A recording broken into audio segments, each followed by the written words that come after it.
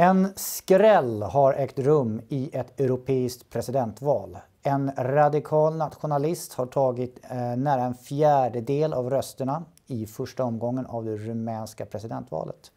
Viktor Eriksson, eh, han heter tydligen Kalin Georgescu, den här mannen. Eh, vad vet vi om honom? Kan du berätta? Ja, det var en väldigt intressant person måste jag verkligen säga på den stund som jag suttit och gått igenom hans bakgrund. Som sagt, han är en radikal nationalist. Han har eh, hyllat kan man säga, ganska kontroversiella nationalistledare i landets historia som Cornelio Codriano och Ion Antonescu. Han är också en uttalad anhängare och vän till landets bönder. Han har varit en stenhård kritiker av globalism. Han har riktat kritik mot FN och sagt att det är globalister och oligarker som styr.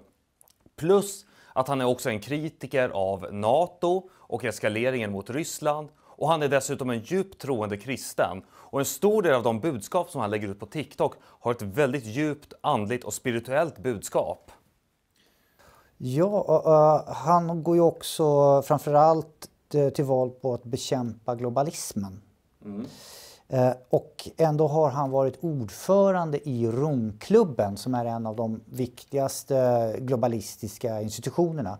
Eh, vad, vad, vad, vad, gjorde han där? Han var ordförande för en del av deras organisation. Eller vad gjorde han för något? Ja, han var ordförande för Europeiska forskningsrådet 2013 till 2015. Han har en doktorstitel i jordbruksvetenskap vilket just har påverkat hans engagemang för bönderna.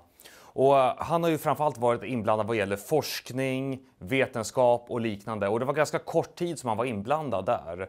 Men eh, han har ju verkligen svängt på väldigt kraftigt de senaste åren. Som sagt, han har ju varit väldigt uttalat kritisk mot eh, globalisterna. Han har avslöjat flera exempel på grov korruption som han har sett i FN. Men jag skulle säga så att man vet aldrig riktigt när en person svänger. Men det som är grejen med honom är att han har åtminstone varit väldigt öppen med att han har varit inblandad i de här sammanhangen. Och det är mer än vad man kan säga om många andra personer som har varit det och försöker dölja det. Så jag tror att eh, han har haft den här fördelen att han har sett hur sjukt allting är inifrån. Men får, han får bevisa sig själv nu att han är the real deal, om han nu kommer väldigt långt. Mm. Uh, vad, vad, är det som gör det här stort? Ja, det ska jag säga framför allt är att eh, enligt opinionsundersökningar så skulle han ha fått bara 5 procent i den här första valomgången. Men eh, i slutändan så fick han 22,9 procent. Alltså det är en skillnad på nästan 18 procent. Jag tror aldrig jag varit med om att det har varit en sån stor diskrepans mellan vad som har förutspåtts innan valet och vad som sen kom fram i valurnorna. Så att på det här sättet, många tror ju många gånger att val det är förutbestämt, det är ingenting som oförutsägbart som händer. Men här visar det att saker och ting kan komma från ingenstans. Och där sätter vi punkt. Tycker ni om det vi gör, vi bryter mediemonopolet, så då stödjer ni oss.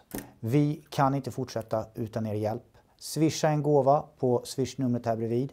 Eller ännu bättre, gå in på frihetsnytt.se och teckna en årsprenumeration så kan vi fortsätta att bryta mediemonopolet. Tack så mycket.